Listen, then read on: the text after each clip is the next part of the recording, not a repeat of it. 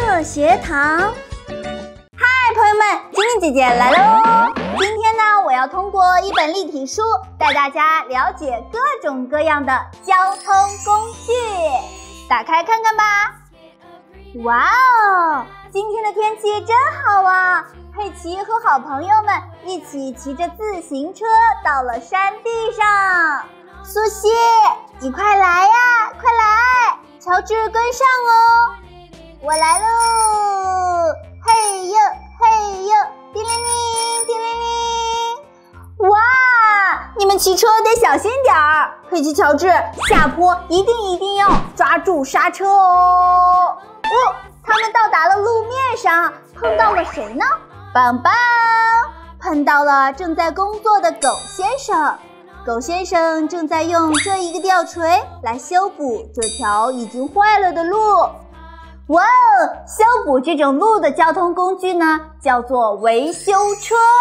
在我们的平常生活中，如果遇到了维修的路段，我们一定要记得绕行，千万不要去打扰各位工作人员呢。猪爷爷和狗爷爷驾驶着各自的船在河里比赛。呜呜嘟嘟！哇，他们比赛好激烈呀！朋友们，你们觉得是狗爷爷会赢，还是猪爷爷会赢呢？哦，我闻到了什么味道？是着火的味道！赶快打电话给妈妈消防局。哦，着火了！妈妈们，你们快来啊！哇，消防队员，兔妈妈、羊妈妈、猪妈妈和狗妈妈已经在消防车上了。滴咚滴咚，前方人员请绕行。滴咚滴咚，呜，幸亏妈妈们赶得及时，这场火才没有越来越大。我们要给妈妈点个赞。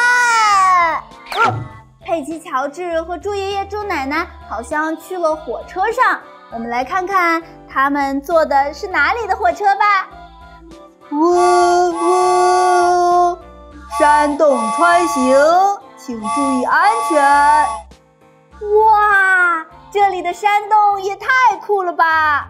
山路蜿蜒，上啊下，呼呼，轰隆隆，呼噜噜，呼噜噜，穿过山路就到站喽！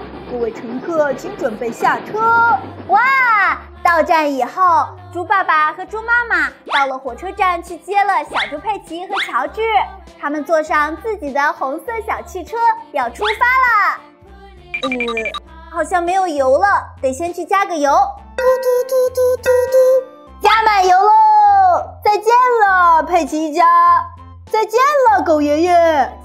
嗯开着车车要去哪里呢？哦，我知道他们要去哪儿啦！他们去了兔小姐的基地。你们看，嘿嘿，佩奇一家坐上了兔小姐的热气球，飞得好高啊！哇哦，他们飞得越来越高，越来越高。晶晶姐姐也想要玩热气球，这样的话就可以在天空中自由的飞翔，飞呀飞。说到飞在天空中，朋友们，你们知道哪种交通工具可以在天上飞吗？对啦，就是飞机。噔噔，佩奇和朋友们坐上了一架飞机，乘客们请系好安全带，飞机要起飞喽！一、二、三，咻！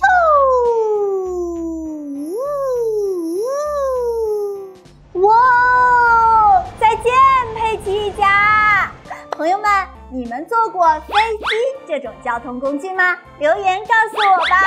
别忘了点赞、订阅。那我们下期再见喽，拜拜！